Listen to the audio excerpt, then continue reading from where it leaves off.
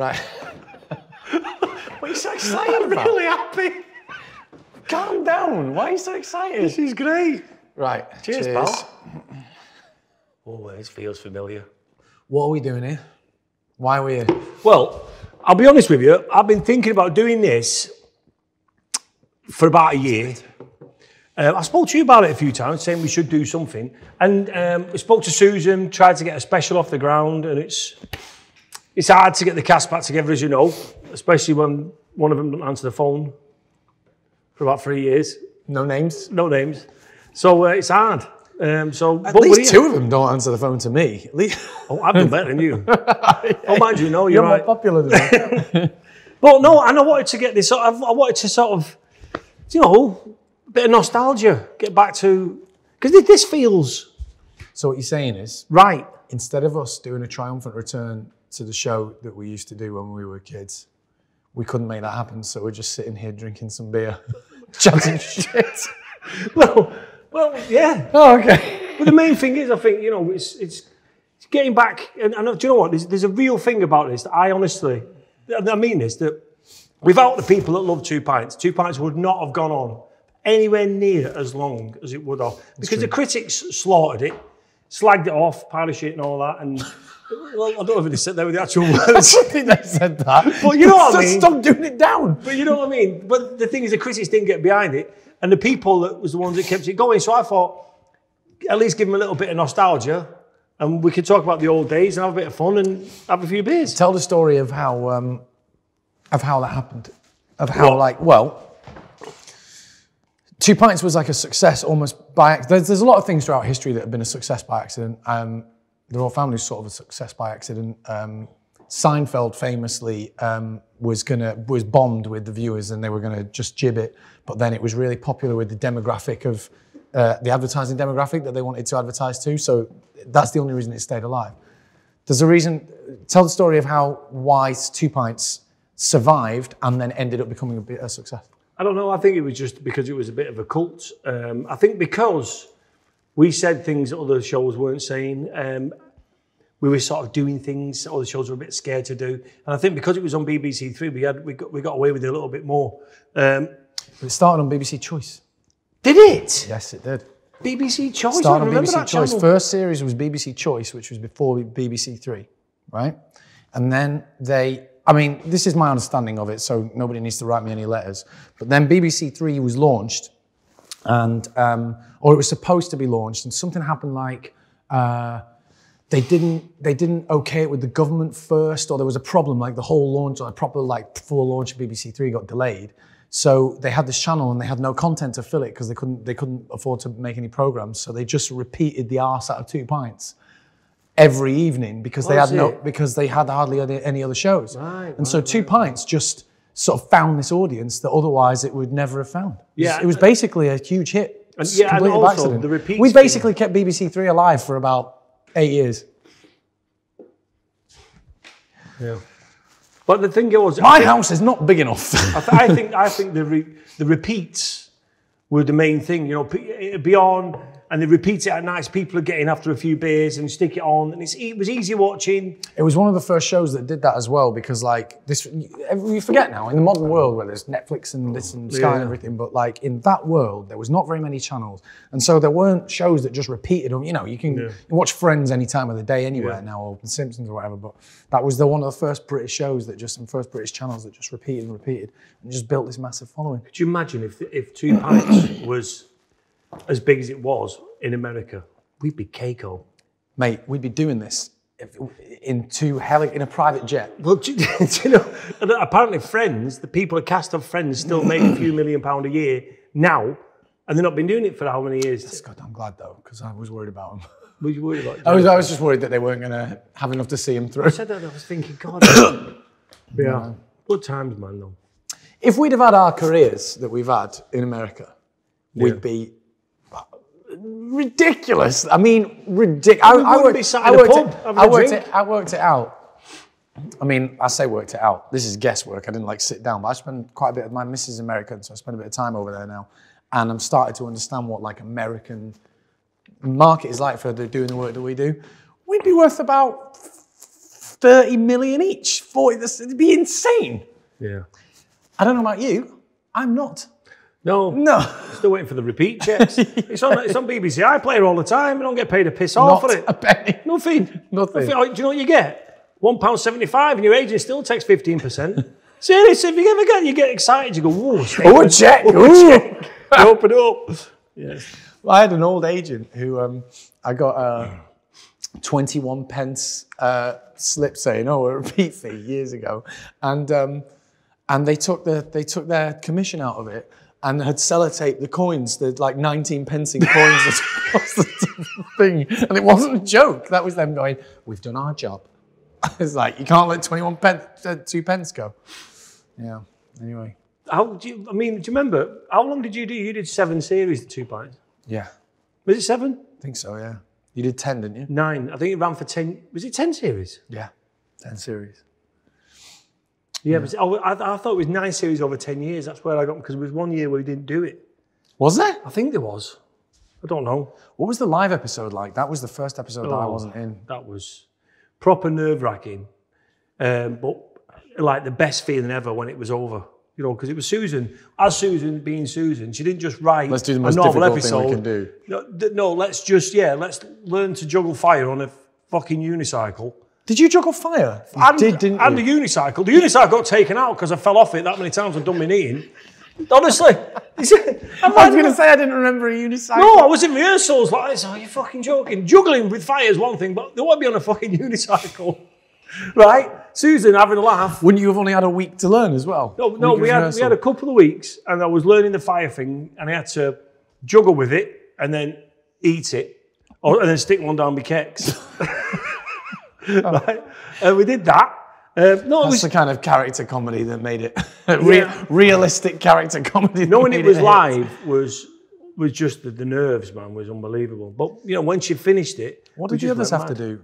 What did Sheridan have to do? Sharon had to, she had to come down in like a ring singing.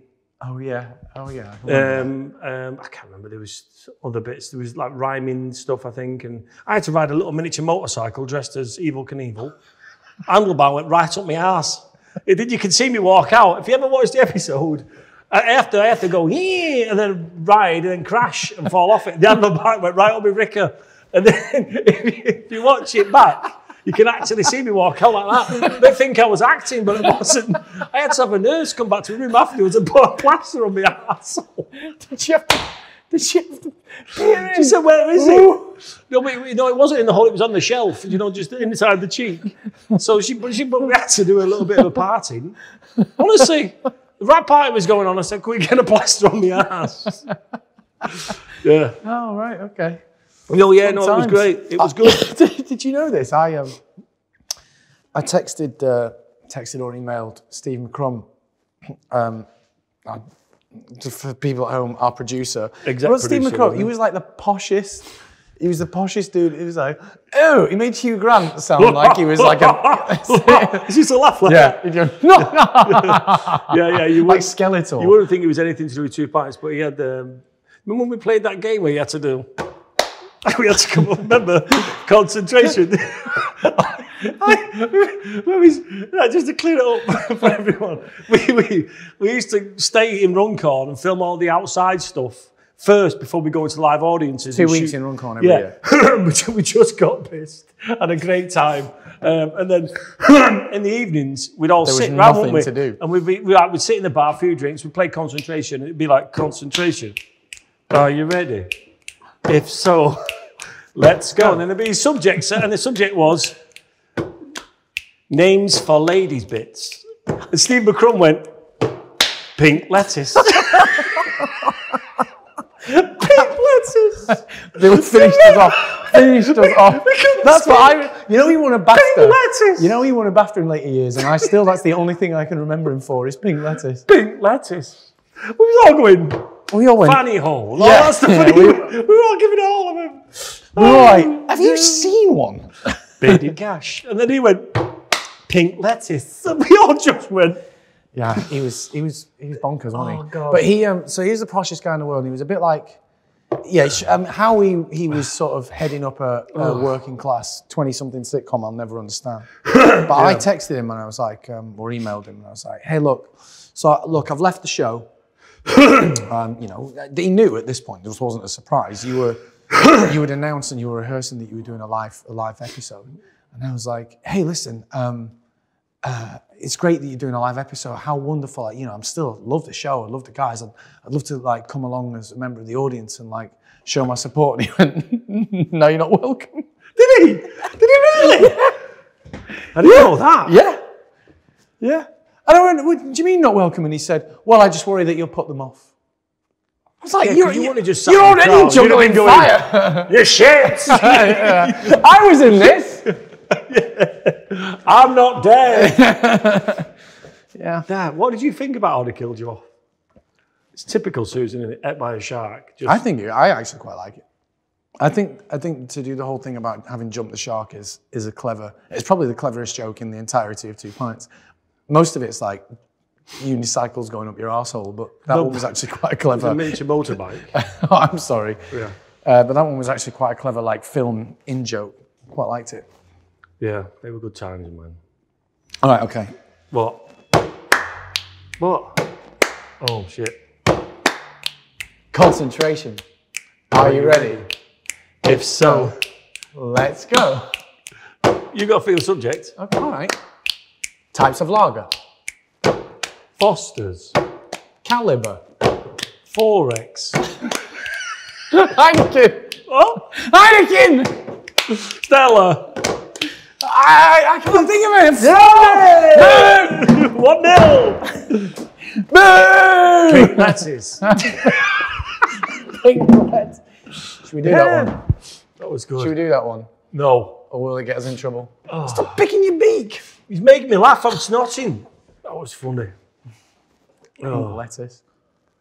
Do you remember in Two Pints, right? We'd be sat in a bar like this. Um, and the only difference with this is, because it seems very similar to me, but the, the audience obviously is over there. And the amount of times, obviously, you crack up. But we we had the, the, we named the barmaid. Remember, she never she never had any lines. When you say we named her, you named her. I'm not sure it was me. it was 100% you. What did you name her? And why? Norma. Why Why did you call her Norma? What was her second name? Stits. she had massive tits. But that's how young we was. That made me laugh for years. Norma, we got it in the show. Yeah. Two pints, Norma. Two pints, please, Norma. And she went, okay. Honestly. Like, seriously, big old tits, weren't they? Like mum tits. They were, Mont. you know what I mean, though? Like, big, big, big, big boobs. Um, Yeah, you, yeah. I've, I've got the point. Yeah. no, she was lovely. Didn't she get a line in the end? Yeah, she, got a line, yeah. She did. I, I think they actually started writing it in. Hey, the, boys shout out to Norma. We just made it up. I'm not entirely sure that they knew why we were calling her Norma. Do you remember when they said don't play darts in the pub? why, why they said don't. Well, I'll let you explain this one. There was a dartboard in the pub, right, and there was darts in it. And in between takes, right, they said, lads, please, don't be playing darts. And we, like absolute dicks, because we were what, like, I would have been like 19, 20, and you'd have been like I was 20. 32 or whatever it is. Is. fucking. Uh, I was 22, I think, 21. how, how old are you? 43. Yeah, you're three, and a, three years older than me. So I was 22. 22. And, and we, how, by the way, how they managed like our egos, not just us two, but all of us, five, five kids, already actors, which is already a pain in the ass. And then in a successful show where people came to watch it, how they managed our The egos. I will concentration span of like three oh, seconds. Unbelievable. Anyway, Back said, to the darts. yeah, the they dart said, board. lads, please don't play darts in the pub. And we've got, we go, why not? Don't be ridiculous. Hey, don't be stupid. What's the matter? People play, like the dead, dead Mike, people play darts in pubs in real life. What's the, what's the problem? What could go wrong? Yeah, what could possibly go wrong? And the table was here, the pub, it's pretty much this was the orientation, and there was a, there was like a little screen here, and behind the screen there was, uh, no, sorry, the dartboard was here, and there was a little screen there, and there was some more chairs. And Will's oh, that, bang, bang, we're playing killer. Will's Yeah. hitting, I'm like, this one, this whole audience in a thing, and I'm going, this one for the win. Like that.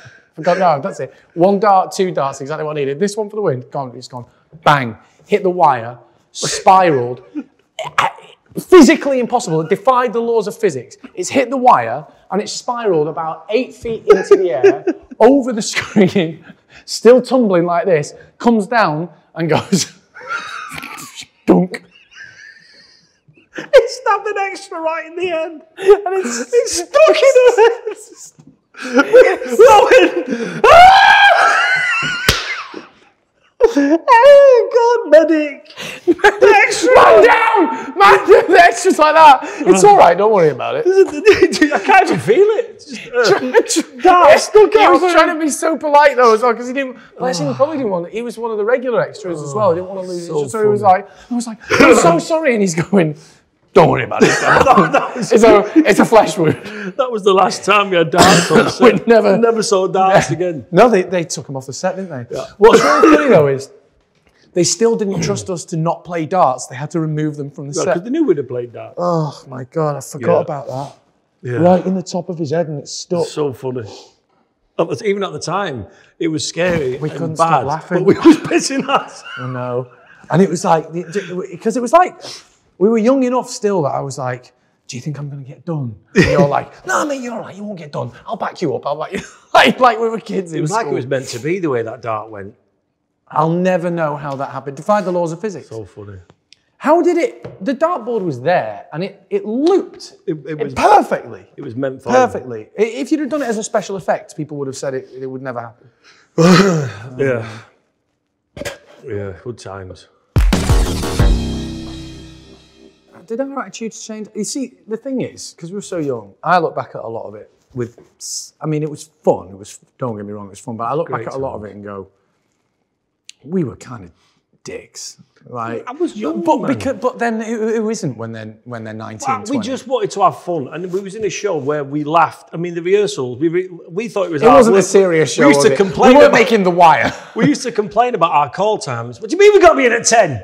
Ten till two. We did. We, We did this in an hour. We did. Ten till two. We did. 10? 10, you say? Hey, hold on. Come on, after. I'm not, I'm not even in half half of the first scene. I'm not in the first scene, half of the first coming scene. I'm coming, I'll come in at half past. And we used to go, nah, I'm not coming in. Ah, no. Can you believe that we would do that? I wouldn't dream of doing that Or now. they'd say, "Don't be late," and, and we'd have a jar where if you were late, you had to put a pound in it. Ralf would just walk in late and just go, ah, tink, and put his pound in. No apology, there's my pound. And what? Oh, or they'd not take his script on. They'd say, Ralf, the- you've got to be off the book by tomorrow. So can you take your script on, turn it? And he went, I'll know it. I'll know it by osmosis. The thing is, I did though. Yeah. I mean, I honestly would say I've, I, some of the best times though, just because we were young enough to really enjoy it. We, it wasn't hard work, and we just got to put on a show every week, live audience, saying things on telly that other people really Not at that saying. time, not at that. Time. You know what time. I mean? And having a load of fun with it, doing, and, and then and then going out every Friday night as a cast and getting pissed, and then having the weekend off. It Can was just like a remember- dream You job. say going out as a cast and getting pissed, but what mainly happened was we'd all go out, and after about 45 minutes, I was just getting warmed up. your, your eyes would start to be looking like runny eggs. and you get the, the mellow the mellow drink. This is the thing, we call it two pints, but two pints is about your limit before they start to water. And you I go, you all right, mate? And you go, I think I got. I'm fine, carried mate. I think, but remember, no, we- we went afterwards. We go to the green room and have a few drinks. That's true, we did. And then we go out. So I, I was well six or seven in. Sometimes I had one before the show. Remember, we go up to the Me and you BBC used to, bar. yeah. You used to rob a sausage. Remember that? Yes, I do. the queue was fucking massive. Why? Because I couldn't afford a sausage. I can't believe you remember that. I do remember that you did because every every week we go to the BBC canteen. It was minging the food, and we'd go, and we well we thought we were so cool. We'd go, should we have a beer? Like like like thinking about what what actors have done over the years and the complete like mental shit they've got up to. We we show. thought we were so cool. So like yeah, we're really rock and roll. Should we have a beer? And then we'd get the thing and we'd, we'd queue up, and you would queue up, and we'd have our dinner, and we'd queue up, but you'd go.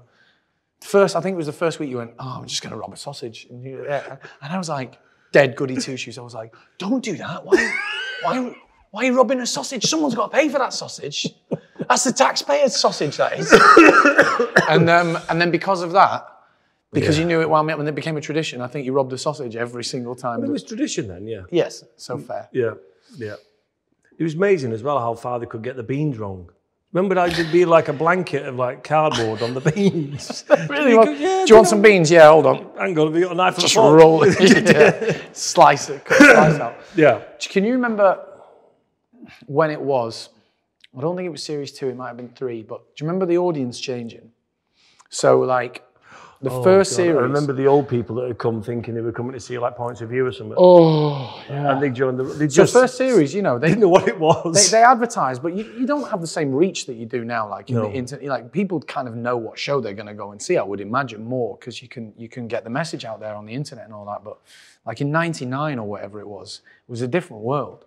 And that first series, people would turn, turn up. A lot of old people not very happy. We had a couple of walkouts, didn't we? But yeah, bec- you, you could hear them knitting. You know, we, we, we were thinking this isn't our audience. They were either knitting or tutting yeah, or both. uh, whacking boiled sweets off the pissing false teeth, and you're thinking these these should have gone to bingo or something because they're not going to get this. A load of young kids effing and jeffing, talking about shagging and porn.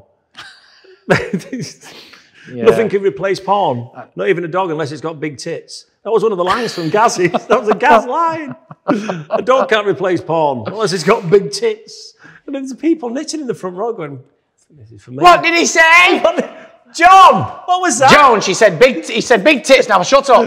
We're leaving, John. Finish that hat for our Claire. We're leaving. Yeah. Yeah, and then Once we did get our audience, See, I can't was- remember what we said before about how like it got. So the first series went out, and it. I don't know if you remember this, but the first series went out and it sort of died. I think. It, I think. It, I can't remember if it was on Choice or BBC Two or something, but it basically died. It didn't have a slot. It didn't find an audience. Critics hated it or whatever. And then because they were struggling, they just like had to keep repeating it and just. People just coming home from the pub went, "This is ridiculous. I'm loving it," and they, Yeah, that, yeah, that's yeah. how they found an audience. Students as well. A lot of the students loved it because it was based on student life. Susan Nickson was Sheridan, apparently. Um, her character Janet was based on Susan herself, and, and all she spent in her student years was in pubs, smoking and drinking. I mean, the early episodes. What are you laughing at? What are you laughing at? What's funny? What's I don't understand. Like, you can sort of understand why it took us so many takes to even get through a scene. I don't even know what I've said. What's funny? I don't know. It just tickled me. Sorry. Right. So, yeah, so it was Susan like, Nickson was Sheridan. well, she, Susan Nickson, uh, she was Janet. Right. So she wrote it based on her time as a student. So it was, so a lot of students could appreciate it because they spoke, she spent most of her time sat in pubs, drinking and smoking. And obviously she wrote two pints at 16 years old. It's ridiculous. Yeah, it's she won an insane, award. Unbelievable. But do you remember the early days? You watch it back now, because it's been repeated a lot now, and people smoking in pubs. How know. weird that looks. I know. Nearly every scene, Natalie Casey's rolling up a fag. ev- Nearly every one, they're all smoking. Do you remember doing? This is when I first met you. I just remembered. What? You fucking animal! I forgot about this till just now. What have we done now? The first time we met. I wasn't going to put my cock on that girl's shoulder, was it? Is that what you're talking about? The producer, not That that one. that could have been any number of times. I've seen your cock more than I've seen my own. Not, Stop not, that time. out. Not that time then. No. What was it then? Right. this is you at 22 on 21, right? I don't know what you're going to say. This is you. So we're invited to uh, do a rehearsed reading of an epi- of the pilot episode. Because back in the well, I still think you, you do do it. You do a rehearsed reading, and you turn up for a day at, at BBC, and you've been cast, and it's when they want to try and um, uh, commission a show, decide whether they're going to make a show. So what they do is often they get other BBC commissioners and heads of department in to watch uh, some actors. Yep. They've got to, and we did the rehearsed reading. We walked around with scripts, and I'm like, "Hey, Gaz, what are you doing?" And we're reading off the script. I don't remember any of this. do you not remember it at all? I remember it it. so so well, and it was in it was at TV Centre in Shepherd's Bush, and um, and I sat. That's I met you, was introduced to you, and, and you know knew who you were because um, um, some people I knew were fans of Hollyoaks, and. Um, and they said, uh, uh, Ralf said, and I went, hi mate. And I have to say, first thing he said to me was lovely. He went, hey mate, you're dead friendly. You're like, hey, how you a nice one. I loved, I loved the Royal family. He said, it was really lovely, really sweet and everything. I was like, oh, you sound, right? But we're sitting there. About two minutes later, and you're like this, fiddling around, I'm fully fiddling around up your asshole, right? And you went, "Hey, smell that." Why? I did do that for a while. For a while, was that your thing? I did it to my mum as well. Why? I don't know. It was just a shock factor. No, I remember that. They actually wrote it into the character. In Ga- if you see a lot of scenes with Gaz, I'm having a good route, and I did it with give it, I a good- and it was just a little, uh, a little, little gesture. to it was a yeah, a little nod to Mellor. There was a character who came in, why, Wesley, why when you? and I had to teach ask him how you to do this. What? I want to ask you when you're doing a rehearsed reading for a show that you're hoping is going to get commissioned. You've just met a fellow actor.